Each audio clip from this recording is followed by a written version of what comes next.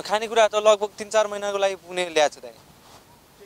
अब चामल दुई बोरा जति ल्याएको छ मासु भयो अन्डा छ सात क्रेट ल्याएको छ जुस वाइन विस्कीहरू विभिन्न थरीहरू आफूलाई चाहिने जति सब स्टक राखेको छु। कामको समस्या बाहिर हिँडडुल गर्नलाई समस्या। अब कोरोना भाइरसले गर्दा मान्छेले भन्छ घरबाट ननिस्कि भनिरहेको छ एउटा त लकडाउन भइरहेछ होइन? अब रुल्स फलो गर्नु परिहाल्यो त्यही माथि अब कामसाम के पनि छैन। रुम भाडा तिर्न गाह्रो भइरहेछ। रेन्ट हप्तै पछि तिर्नुपर्ने हुन्छ। धेरै समस्या ल्याएको छ नि तपाईँको। चाहेर पनि केही गर्न सक्दैन। एउटा मनमा डर त्रास भन्ने चिज भइरहेको हुन्छ। डर चाहिँ कस्तो भने अब बाटोमा जो मान्छे देखे पनि योसँग छ कि क्या हो भाइरस जसले पनि मास्क लगाएर हिँड्छ। अनि आफूलाई फिल हुने क्या यो मान्छेसँग भाइरस छ कि यो मान्छेसँग छ कि? मान्छेले भन्छ सँगै नहिँड ग्रुपमा नहिँड भन्छ। हरेक चिजको डर हुन्छ आफूलाई। जहाँ हिँड्दा पनि जे होस् सेफ भएर हिँड्नु पऱ्यो अब अस्ट्रेलियामा सबैभन्दा पहिला त हामीलाई कामको समस्या भइरहेछ त्यसै पनि पहिलेदेखि कामको समस्या थियो। त्यहाँमाथि झन् थपियो। दोस्रो अब लकडाउन हुने कुरा चल्दैछ। लकडाउन भएपछि झन् ठुलो समस्या थपिने भयो। अब सबै कुराले नै अब ग्रस्त बनाइरहेको छ।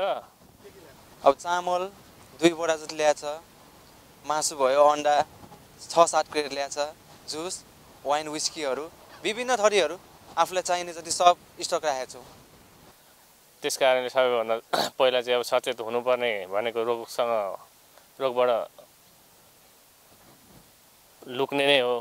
तर अब लुक्नको लागि पनि समस्यै छ हामीलाई। काम गर्न नजाउँ भोलि त काम दिँदैन भन्ने।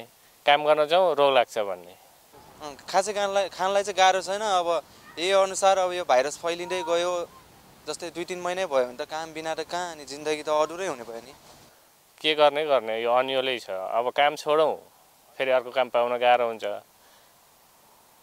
अब काम छोडेपछि काम पाउन गाह्रो मात्रै होइन। फेरि अब सबै कुराको गाह्रो आउँछ काम गर्न छोडेपछि। अब काम गरौँ रोगको डर छ।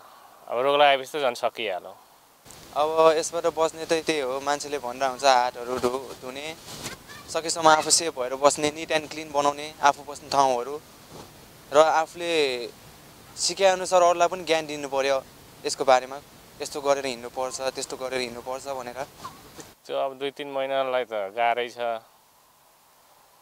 अहिले चाहिँ तत्कालै भइहाल्यो भने।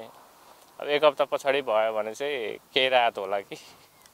त्यतिखेर त पे पनि आउँछ नि त। भाइरस सरिरहेछ यो भाइरसलाई त्यस्तो नर्मल नसोच्नु एकदमै डेन्जर भइसकेको छ। वर्ल्डमै भइसकेको छ।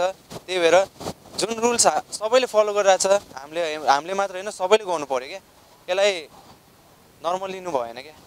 बस्नको लागि त अब अहिले अब मास्क एउटा युज गर्ने भनेको मास्क अब अर्को एउटा युज गर्नुपर्ने ग्लोभ्स त्यो चाहिँ अब हामीसँग पर्याप्त छैन पनि। मास्कसम्म चाहिँ पर्याप्त नभए नि काम चलाउ चाहिँ छ।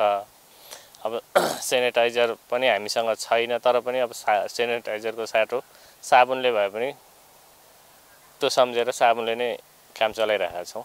अब अब कहिले निको हुनेको कुरा सकेसम्म अब मेडिसिन बनाउनु पऱ्यो हन्ड्रेड पर्सेन्ट हुन्छ कि हुँदैन थाहा छैन जे होस्। मेडिसिन चाहिँ बनाउनै पऱ्यो क्या एउटा अब केही दबाई बन्यो भने मान्छेलाई हल्का होप त हुन्छ नि ओ दबाई बन्यो भनेर। त्यसको लागि चाँडोभन्दा चाँडो सकेसम्म मेडिसिन तथा रिसर्च गरेर हिँड्नु पऱ्यो औषधिको लागि। नलाग्नको लागि त जहाँसम्म पहिलो त घरबाट बाहिर ननिस्किनु भन्ने हो। निस्किहाल्दा पनि मासहरू भए ठाउँमा नहिँड्ने नजाने साथीभाइको नजिक नपुग्ने पर पर तर्केर हिँड्नुपर्ने हुन्छ। अब यही नै हो मैले जानेको चाहिँ। समग्रमा त होइन सामान्यमा। अब म सकेसम्म के भन्छु भने आफूहरू सेफ भएर बस्नु हातहरू हात टाइम टाइममा धुनु यताउति सरसफाइ भएर बस्नु गुरु त्यो भाडभिडमा नहिँड्नु सकेसम्म घरमै बस्नु फ्यामिलीहरूसँग सेफ भएर बस्नु रमाइलो गर्नु घरभित्रै रमाइलो गरेर बस्नु बाहिर ननिस्किनु।